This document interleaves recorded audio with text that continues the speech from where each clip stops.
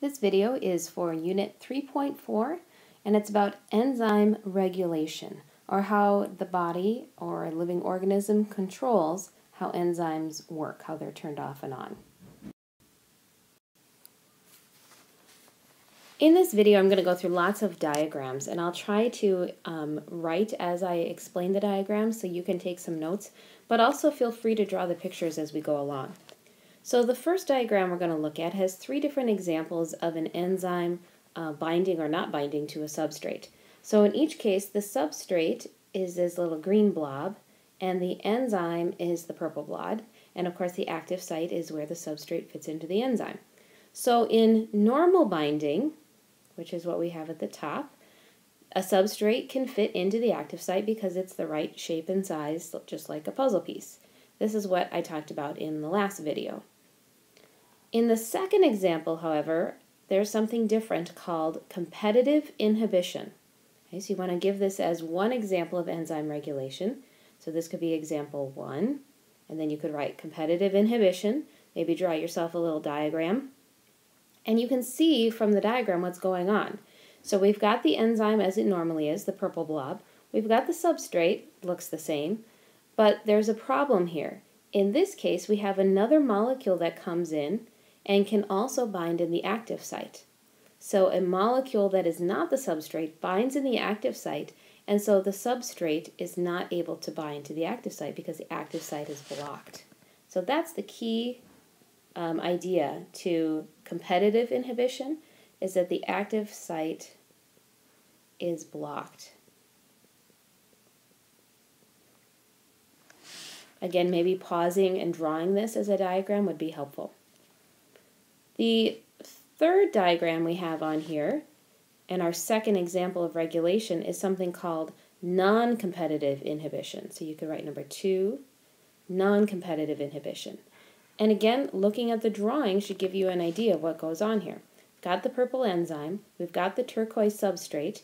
What's different is this orange molecule down here at the bottom. That is something called a non-competitive inhibitor. It bound to the enzyme at a place other than the active site. And what happened to the enzyme then? The active site changed shape. Now the substrate no longer fits into that enzyme, and so the enzyme can't do what it's supposed to do. So the key idea here is the active site changes shape. Again, drawing yourself a diagram of this is probably the most helpful but having a little note to yourself of what the main idea is will go well with your diagram as well. Okay, so these are two ways that enzymes could be regulated. So we, the body can turn off enzymes, essentially, stop them from doing what they're doing by using molecules that are competitive inhibitors or non-competitive inhibitors. Now we're going to get even more specific about these molecules that can bind to an area on the enzyme that's not the active site. So they bind elsewhere in the enzyme to somehow control it.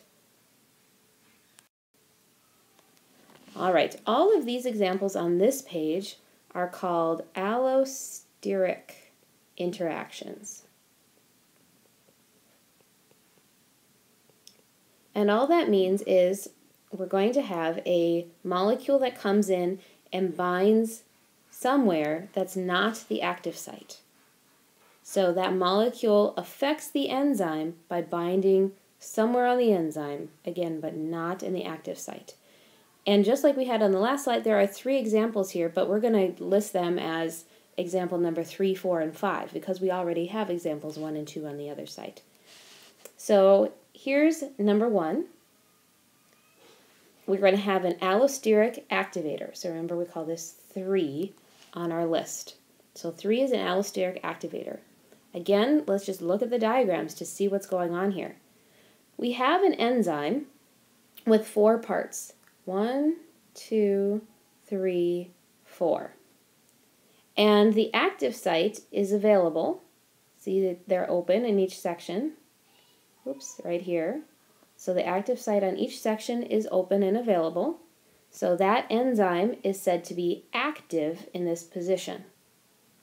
So let's look at what happens when this allosteric activator comes in. Here's the activator.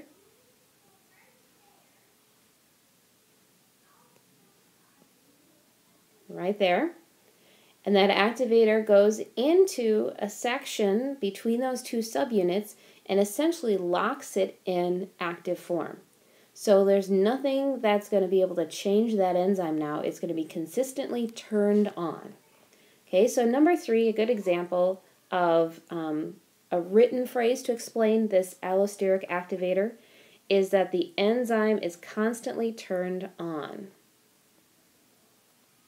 So The enzyme is always, oops, spelling, always on. Right, so it's like you've got a light switch in the room and it's duct taped on, so it can never be turned off. Same idea there. Now, because this is kind of a vague idea here, I wanted to give you a real life example of when this happens. And the example I'm going to use is right here, and that is how your body digests glucose. So if you are in a, a dangerous situation or a really stressful situation, you are going to release a chemical, a hormone called epinephrine. Maybe you've heard this called adrenaline before. And adrenaline is a allosteric activator.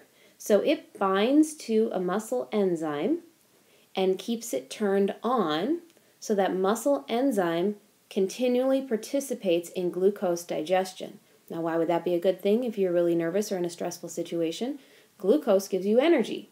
So, if you're really stressful or life endangering situation, you need to have your glucose metabolism running constantly to give you lots and lots of energy. So that is what adrenaline does to the enzyme to keep that metabolism going, keeps it in the on position. Okay, the second example down here, and again, this will be example number four for how we regulate enzymes, is we can create allosteric inhibitors as well. So again, we're having a molecule that binds somewhere besides the active site. So in this case, this inhibitor is red, and again, it's binding between these subunits of these enzymes, not the active site. But basically, instead of keeping the enzyme turned on, this makes sure that the enzyme is always turned off.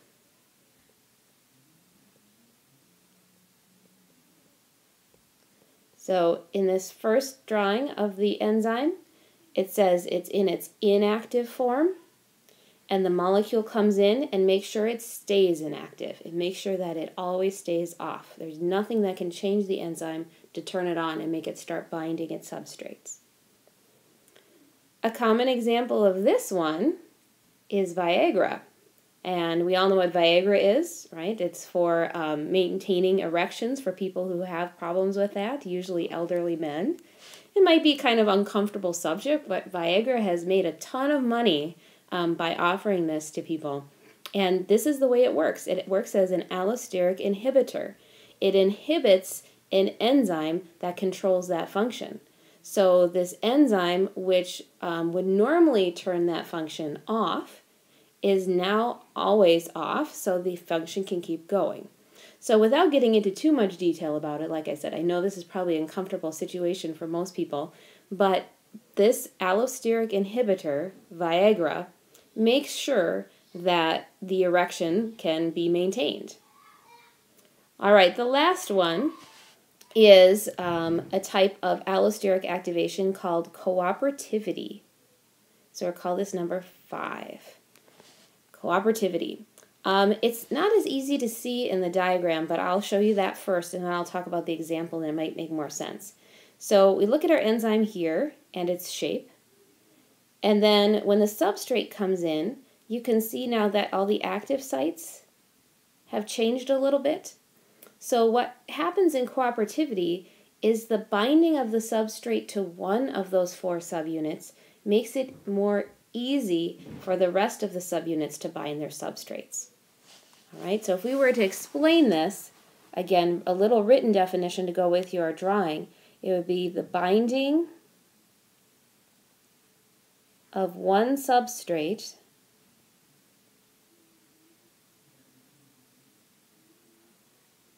eases the others.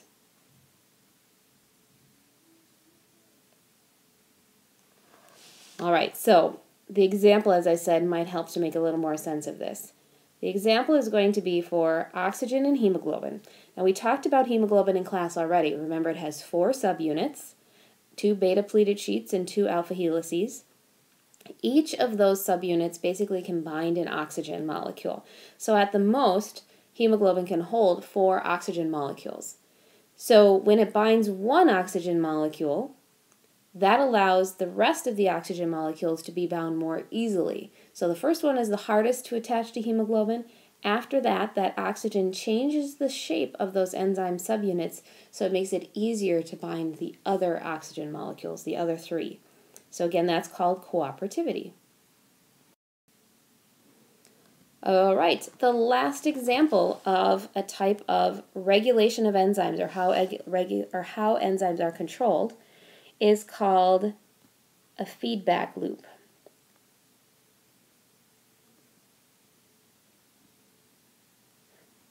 Now this looks kind of complicated, but I think once I step you through it, it'll make sense. You might not want to draw every little step of this, but just a simplified drawing of this when you're done listening to this would probably be helpful. All right, so we're going to start with a substrate called threonine. Threonine is a type of amino acid, but at this point it's not really important to know what threonine is. It's just your substrate. The sub substrate binds to the active site of an enzyme. We're just going to call that enzyme 1 and that enzyme makes a product. Okay, here's our product. That product of enzyme 1 is a substrate for enzyme 2. So the product feeds into enzyme 2, which makes, I'll call that another product. They call them intermediates, but basically it's the product of the enzyme. That product is a substrate for enzyme 3, which makes another product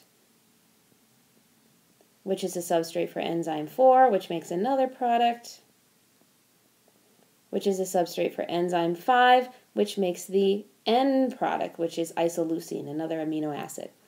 So basically we have a chain of enzymes here that are producing a product which triggers another enzyme to produce another product, and so forth and so on.